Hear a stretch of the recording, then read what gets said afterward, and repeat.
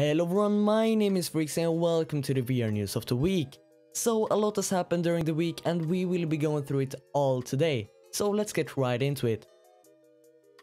Now, the Valheim VR mod created by the mod developer Brandon Mousseau just released a huge update for his mod that added room scale movement, snap turn, spear throwing and a lot more features. Now this is very cool and since I really like this game I thought I had to try it out for myself.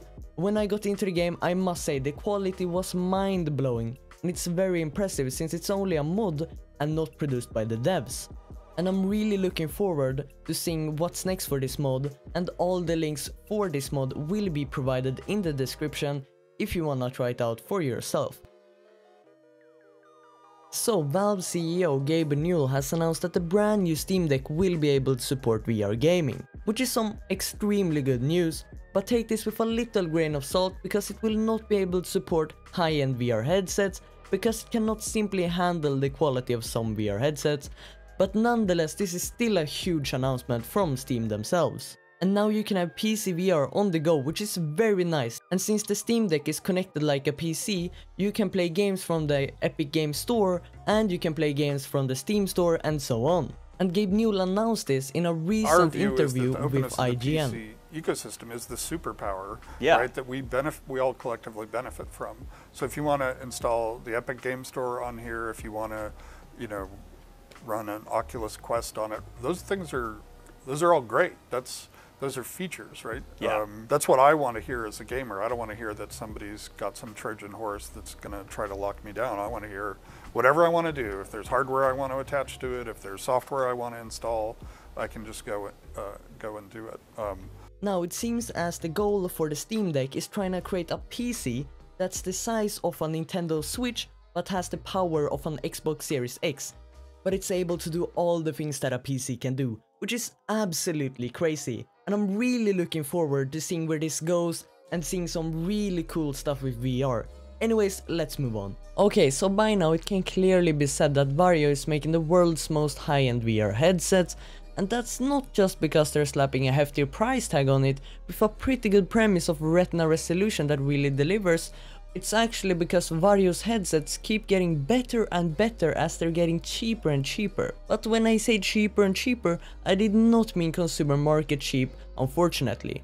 But we still see some progress on the price and quality, so hopefully in the coming years this tech will be able for everyone at a good price. But if you really wanna know what the price is, then the current price for the XR3 is a whooping $5,500 plus an annually service fee of $1,500. But even though this is extremely crazy expensive, it's still a lot cheaper than the old model that was $10,000 plus a $1,000 annual service fee, which is crazy. Meanwhile, the VR3, the model without advanced pass-through or inside-out tracking, has come down to just $3,200 and an annual price tag of $800.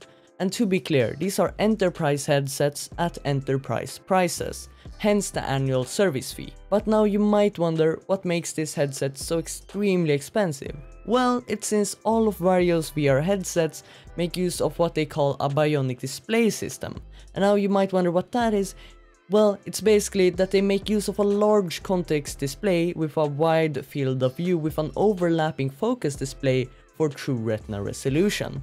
And it's over 70 ppd at the center of the view, which is absolutely mind-blowing. And that's two display for each eye and it also has a crazy FOV at 115 degrees and it also has inside out tracking. I mean that's not really that special because most VR headsets that are portable has it, but I mean it's still very cool. And it also has integrated Ultraleap hand tracking and integrated eye tracking with 200 Hz per eye. And it also has the widest ever color gamut and matches 99% with all sRGB and 93% with DCI-P3 color space for the most realistic colors, which is absolutely crazy and I definitely hope that this VR headset comes to the VR consumer market because this will really put a new life into the PC VR into the PC VR gaming community.